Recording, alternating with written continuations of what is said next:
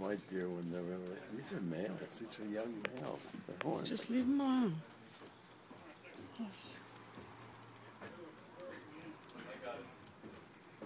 Aren't they cute? They come here all the time to eat. They're totally fearless. Don't say anything to